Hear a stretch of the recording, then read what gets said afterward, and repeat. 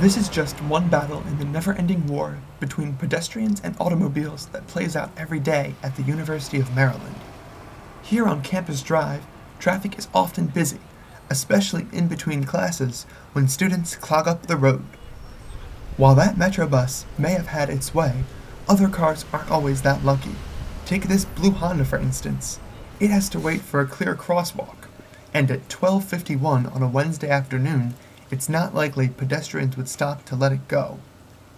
So while this Honda waits, let me tell you what the University of Maryland is trying to do about its traffic problem. From June 19th to August 13th, 2010, Maryland closed a portion of Campus Drive to private vehicles. That portion is highlighted on the map.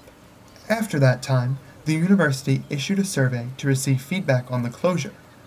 Currently, according to Jack Baker, who was in charge of the project, all of the information from the trial run has been passed to the Transportation Subcommittee of the facility's master plan, and it's their job to decide how to move forward. And now, after two minutes of real time has passed, our friend the Honda can finally continue its journey. After watching how bad traffic is on Campus Drive, I decided to test it out for myself. I also asked a few students at Hornbake Plaza what they thought about the idea of making the summer changes to Campus Drive permanent. Some, like Stephanie Kranzak, don't like the idea. I think it's a really bad idea because it's a main route through campus and it'd be so hard for commuters to get to Lot 1 and it would cause a lot more traffic on like Route 1 and like 193 and stuff like that. Cubby Rental, on the other hand, sees potential. I think it would take getting used to, but I think people could get around it and it would help pedestrian traffic.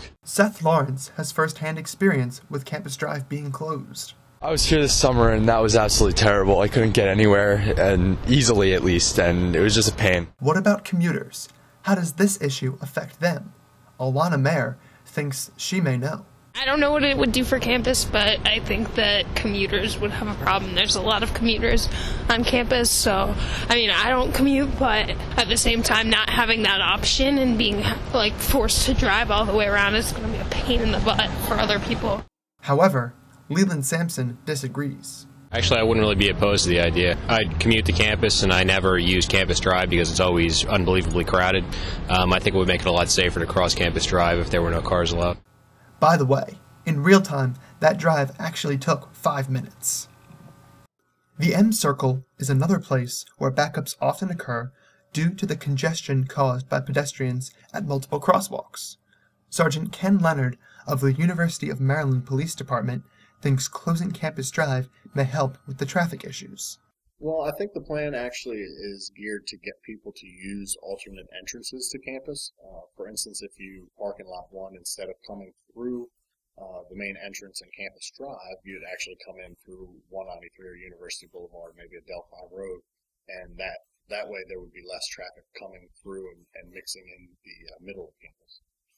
If Campus Drive were permanently shut down, then scenes like this one near Hornbake Plaza wouldn't occur.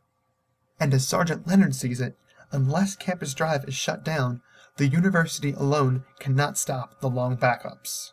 There's not really too much. Um, I know some people have suggested traffic lights. I don't think that's necessarily the answer because pedestrians will cross against uh, traffic lights whether or not they have the right of way sometimes. I think it's more education um, and, and, just a little bit of common sense and uh, you know helping each other out. You know, if you recognize that cars have been waiting for a while, you can stop and let a car go rather than crossing. Um, some of the times, you know, they're running late and they want to get somewhere. You just let them go ahead of you. You'll be better off. So until a change is made, the war between walkers and drivers continues to wage on. In College Park, I'm Jeff Williamson.